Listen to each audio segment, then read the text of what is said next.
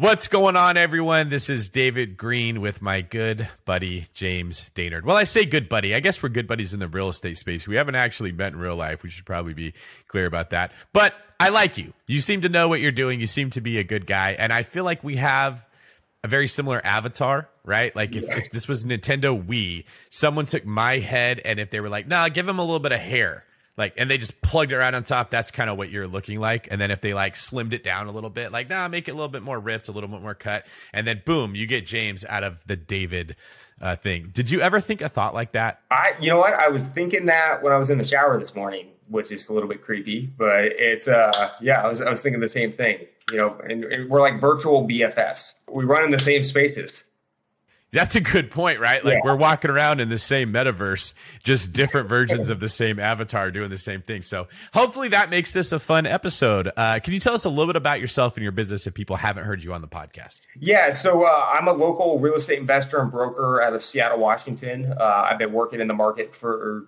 the last 15 years. Uh, got in the business knocking doors um, for an investment company in 2006, and then kind of scaled accordingly from there um, from starting our own brokerage, and then we lend hard money over in Seattle as well. And then we're very, very active value add investors in Washington. So we, you know, we buy the ones that nobody wants that are falling down, and we rip them down to studs and rebuild them up and, and get them back to market, and we just maximize them, maximize out the, the values.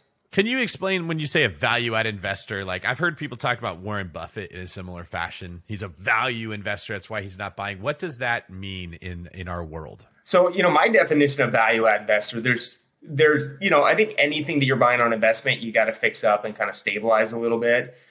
But value add is where you have to put in a, a substantial rehab plan or uh, to, to bring it to that next level. You know, it's really it's not about just buying a good deal. It's about buying the right deal and putting the right plan in play where you're you really can take a shell of a property and maximize out the space. Uh, because you know you can you can skin a cat so many different ways on each building or each house, and then we always go for highest and best. Doesn't matter how hard the construction process is going to be in the meantime. It's uh we call it short term pain, long term gain like you got to deal with the painful year of getting it fixed up and then getting it mm-hmm. kind of to the maximum value. I want to ask you your opinion on the market we're in and how it affects the value of value add versus turnkey. I have some thoughts on that that I don't normally get to share. This would be a good place to do it. But before I do, why don't you let the, our audience know what you think you do best in the world of real estate investing? You know what I think I do best is, you know, underwriting and evaluating the the the right strategic rehab plan is by far I think what what I do best. I mean, those it's you know at being in a brokerage, we sell typically about two to three hundred investment properties a year to our clients, and the reason we can do that in a market that's so low on inventory, you know, Seattle's much like San Francisco, where it's got tons of tech uh, expansion, a lot of money in the market, it's very competitive and so to be able to ninja out those deals, you got to be able to underwrite them and then put, you know, and look at things with a different pair of glasses. I call them deal goggles. Like you got to be able to put those deal goggles on to kind of see through what everyone else is missing and snagging out that deal that everyone else kind of overlooked. I love that. It's kind of like Neo when you're in the Matrix. I, I, don't know if we're dating ourselves with that. I think the Matrix is still cool. Where when Neo's in the Matrix, he doesn't see a person in front of him. He sees green code. And because he can see past what's just being put in front of his face, he can see the underlying code behind the computer that he's dealing with. He can stay one step ahead of his competition. And I feel like that's what you're describing. If you can look at a house that someone else would be like, oh, I would never want to deal with that. And you can see the way to make money out of it, you have a pretty big advantage. It's funny, people they'll call me up like, "Oh, you take all the good deals for yourself." I'm like, actually, we take the deals that nobody wants. You know, like uh, almost every property I've bought in the last year, they've not been like some exclusive off-market rare thing that we bought. Yeah. Yep. It was that we saw potential in a property, whether it was you know location or lot size or different selling features of the property and saw the potential and then waited for the right time to strike on it as well. You know, a lot of the stuff that we, that we buy, it's sitting on market for months and months at a time. And, and, and people are looking at it the wrong, you know, or it could be mismarketed as well. Like, you know, they're advertising as a development site and everybody's looking at tearing this property down and building. Whereas I'm going, well, I'm going to do the complete opposite and keep this thing. Yeah. And so I like to do the opposite of what uh, what everyone else is doing because I think if everyone else wants to do it, that's where the margins get compressed. I want to go where it's hard, and because there's less competition and the margins are a lot larger. You're creeping me out, man. I think exactly the same way. Yeah. Most things I've done in life was I was started buying in 2010 when everyone else was saying don't buy and then in 2015 or so, uh, everyone was saying, Hey, the market's going to crash. We've hit the peak. We got to get out now. And I was like, Yeah, I just don't think so. I think that there's so much inflation that's coming and our country just keeps printing money that real estate's going to become more valuable. And so I started buying more. And then COVID came and people can go back and listen to the BP podcast. There was a lot of voices that were saying we're heading into a depression. The country's going to be run into the ground. Nobody's going to work. And I said, Yeah, I don't think that's what's going to happen. I think we're going to have a run up in prices. And sure enough, that's what happened happen. And so every once in a while, I will see sort of a post on uh, one of my videos or on social media, and they're like, "Oh, this is bubble talk. This is a realtor telling you to buy real estate." Of course, that's what they're saying. God, I've been seeing that for so long, and the fundamentals still look strong. What's your opinion on sort of the underlying value of real estate? Is it overvalued? Does it still have room to go? And why do you feel that way? Well, and that's I think a tricky question because I think you know right now, like we were saying, is they printed so much money and they stuck so much money in our market. I think everything's overvalued, and so it's just that's the inflation bringing everything up, and so mm-hmm. that's the magical question: is it overvalued or is this just the new norm? And that's a great way to put it. It's and that's what we've been kind of struggling with. Like, well, do we double down and buy more now? And or do you wait and see if there's a correction?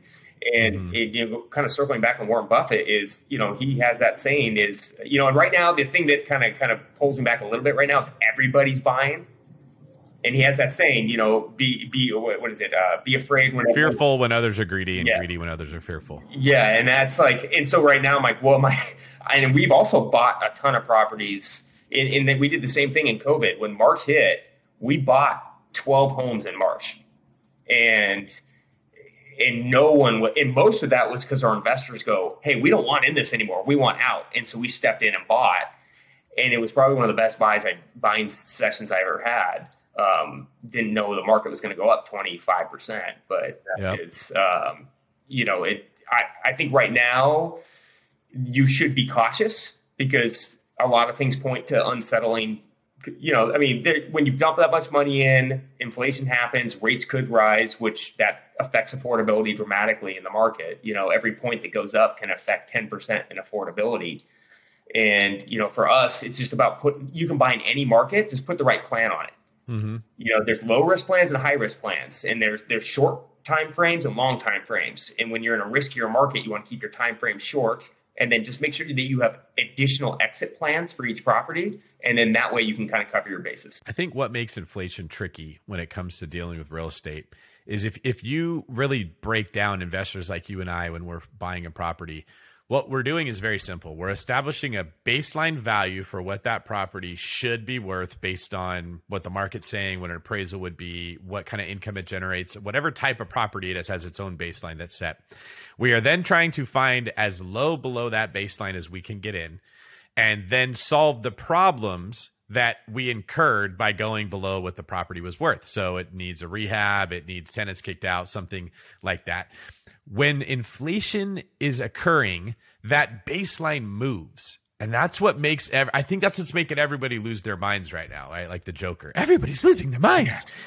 You don't know what it's worth. So, like, if it's worth 800,000 and it went up to 900,000, then we would say it's overvalued. But what if 900,000 is actually worth what a million was worth when 800,000 was what we started at. Now it's actually undervalued. It's very difficult. And I think for the people that are on the sidelines and they're trying to figure out like when do I jump into this game of double dutch, that's what they need to understand is that that baseline that we all need to have to make decisions. Like any decision you make, who are you going to marry?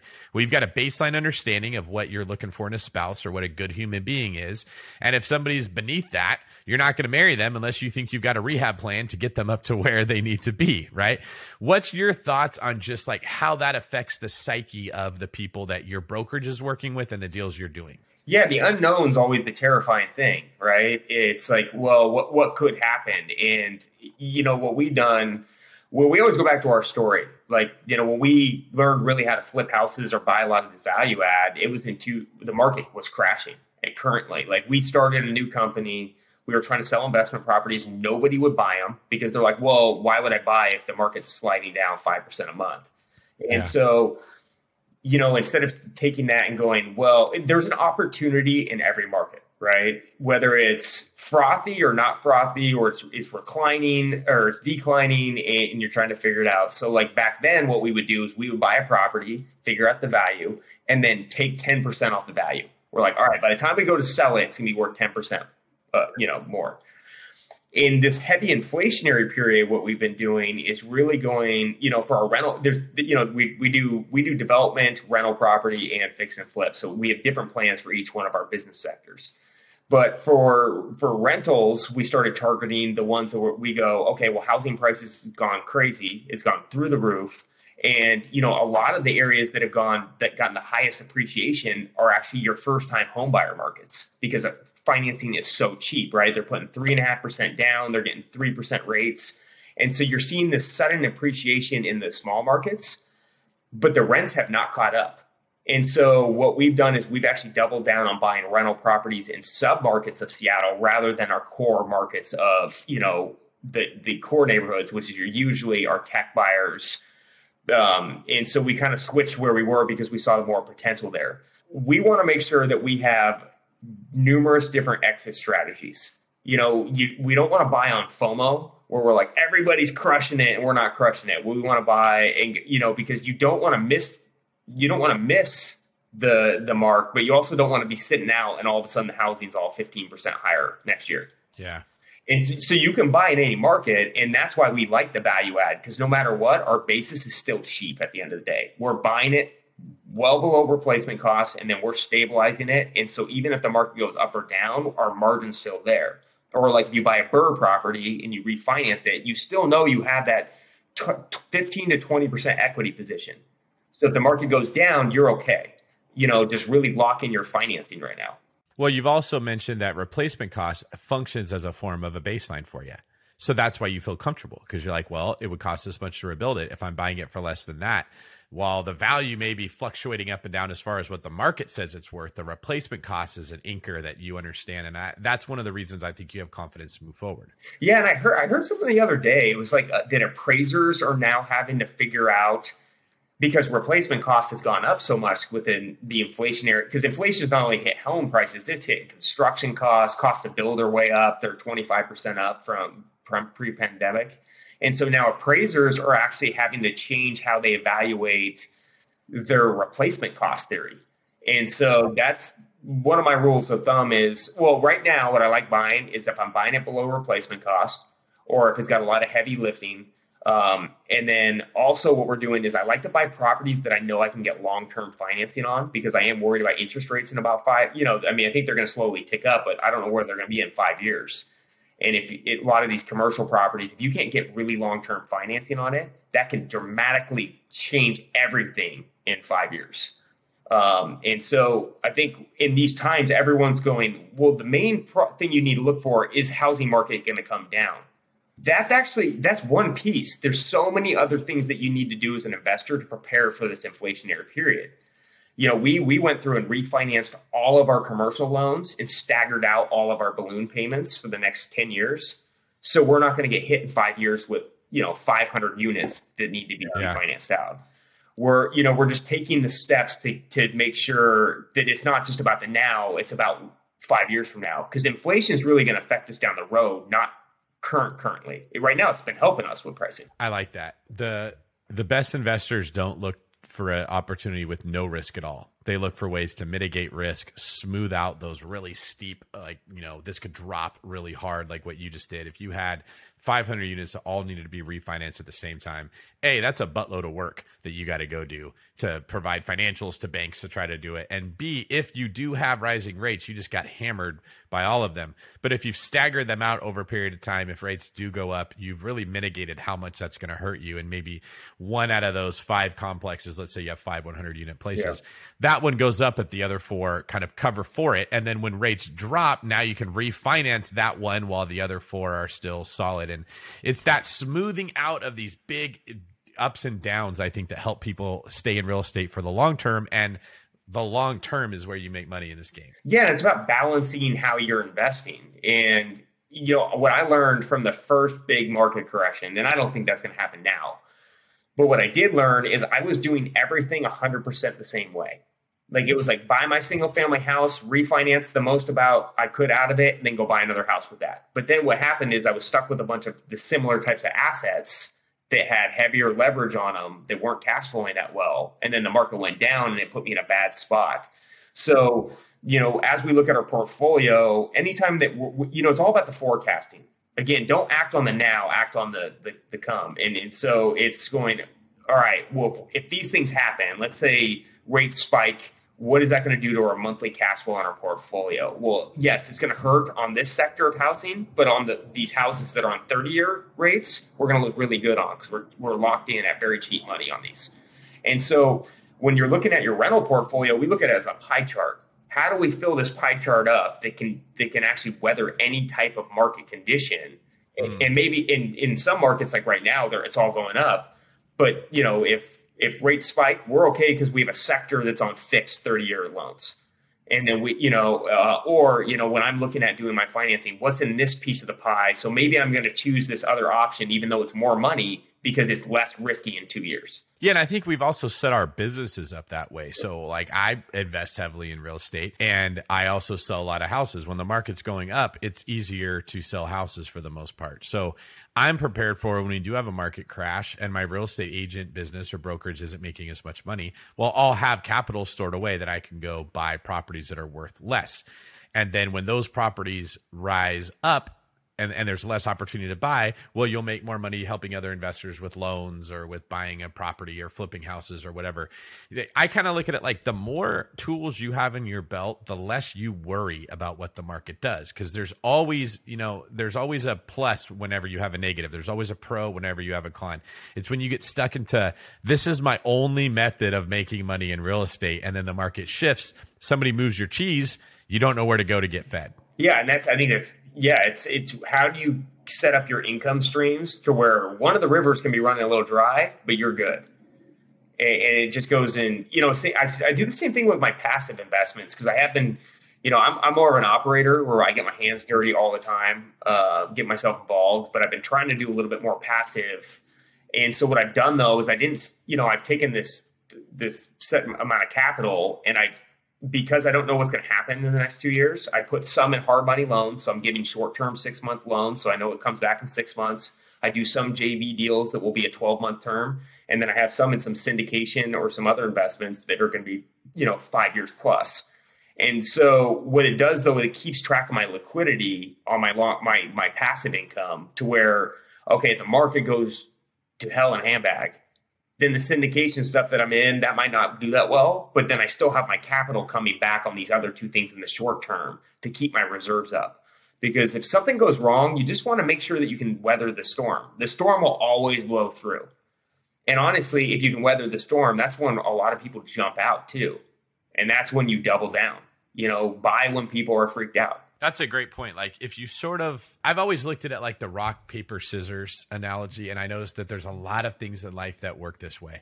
There if there is no best way. Rock isn't better than paper or scissors. It's which one of them is being presented to you is the one that you want to have. So real estate is going to change uh, economic opportunities are going to change. The tax code is going to change. The rules that we play by are constantly changing as life changes you sort of want to be aware of what's happening and then try to anticipate where it's going to go, but have a backup plan in place, like you said, to weather the storm. So that's something I really hope anyone listening to this takes out of it. If you're waiting to say, I only want to sail in blue skies, you will never get out there because at some point you could have a storm that will come. And so you're never going to go take a trip on a boat because you don't, you can't control that.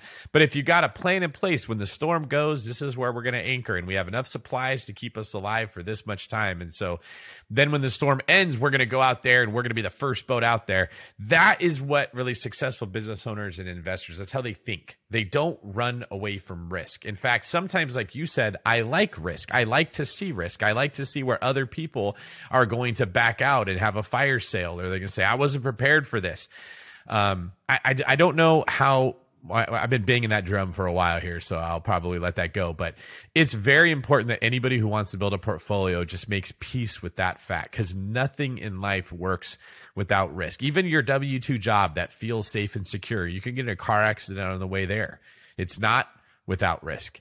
And so you just you can't try to run away from that your whole life. And I, I think you're doing a very good job, James, of how you've sort of like diversified your income streams in all these different ways. So no matter which way the market goes, you've got a plan in place to win. Yeah, and then who knows? I I, I, I did not live throughout the 70s and 80s. You know, I was I was pretty young in the 80s, but uh, you know, one thing that I've been doing is reading what happened in the 80s after hyperinflation in the 70s. And you know, what did real estate do? What did the markets do? And then, but we also have to look at what was going on during the economy too. Our economy is much more robust now than it was yeah. in the 80s. You know, yep. we are the superpower in the economy. Well, there was a time when interest rates on housing was between 18 and 22 percent, and people were still buying houses, right? And they didn't yep. stay at 18 to 22 percent forever. So if rates do go up, yeah, that could affect home prices, but are they going to stay really high? And if it does affect home prices, what if we've had so much inflation that even though prices drop, they're still higher than they are today when they drop? That's another thing to think about. So you know, I'll share one of the ways that I'm zigging when everyone zags, that I'm being greedy when they're fearful, isn't just buy or not buy. It's the type of properties I'm buying. So one of the mistakes that I see investors make is that when we get to what we feel is the top, because no one ever knows when you're actually at the top, right? Last time we had an idea that some of the fundamentals were weak because of the lending, but in general, you don't know what's going to happen that will make prices crash. Like no one saw COVID 19 coming is they say, well, prices are high, so I want to buy the cheapest property I can to mitigate my risk. And they go into the worst neighborhoods and they end up with the the worst tenant base and the worst problems and the worst properties because they think that they're safe. Well, when the market does drop, those properties get hit way harder than the ones in the nicest neighborhoods.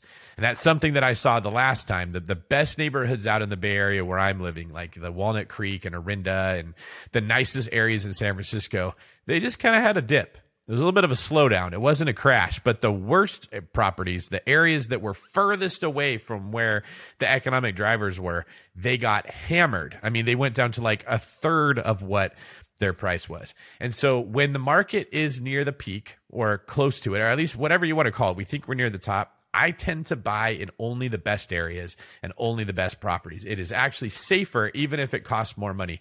Would you have any advice on the Seattle area specifically with areas where you're kind of telling your investors, here's where you're better off buying in a market like this? Good areas stay, you know, people money have money and in those areas stay afloat.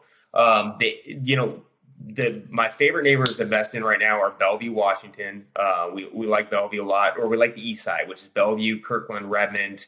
Uh, the reason being is one thing I have though. It, it's it you have the economy's there. It's close to all the high paying tech jobs. In, in that, I always like to be around a good baseline in economy because not only do the kind of less desirable neighborhoods slip, the other like the entertainment city slip where there's not, you know, you look at Vegas, San Diego, where there's not a lot of really core, core, core business there. A lot of it's that hospitality, vacation, travel, travel. Yeah.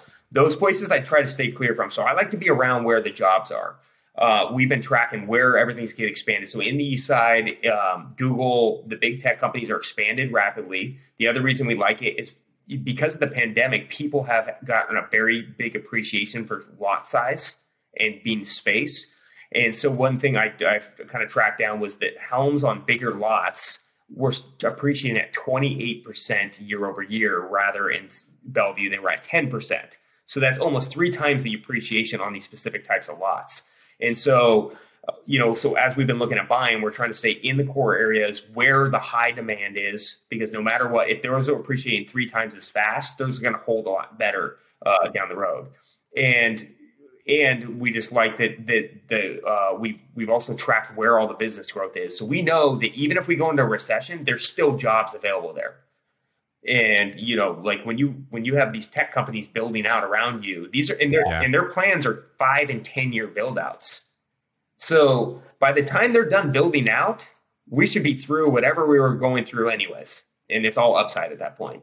And so, yeah, East Side, we like core areas. We like the more residential neighborhoods in Seattle, Ballard, Queen Anne, uh, where people can feel good, that they can kind of move around. Um, and then the other area outside Seattle is Tacoma, uh, the mm-hmm. kind of the southern city uh, in the Hilltop neighborhood, which has been a massive transformation, and that's really driven to not only because people it's affordable and people like the kind of vibe in the city and the, the movement, it also has a, um, the sound transit. So that long commute has has gone been cut in half. All right. Well, thank you very much, James. This has been a great time. I appreciate you uh, you staying here with us. If you guys want to hear more of James, check him out on the BiggerPockets podcast, episode 338, as well as 550, where he shares more details on how he runs his business. Anything you want to say before we get out of here? No, or if uh, you, you want more information on what we do, you can check me out on my Instagram handle, J Dane Flips. Uh, we do a lot of construction overview, uh, kind of in the trenches walkthroughs on our social media. Uh, you get to see all the headaches I'm dealing with on a daily basis. Uh, or check out our company website at www.heatondainard.com. All right. You can find me at davidgreene24.com or davidgreene24 on social media. Thanks very much, James. Have a good one.